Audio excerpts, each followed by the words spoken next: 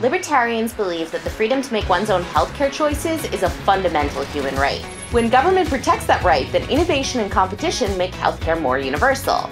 In other words, it's better, more affordable, and more secure. But when government taxes our income and limits our choice in providers, treatments, and healthcare insurance, it both denies us that right and it makes healthcare much less universal.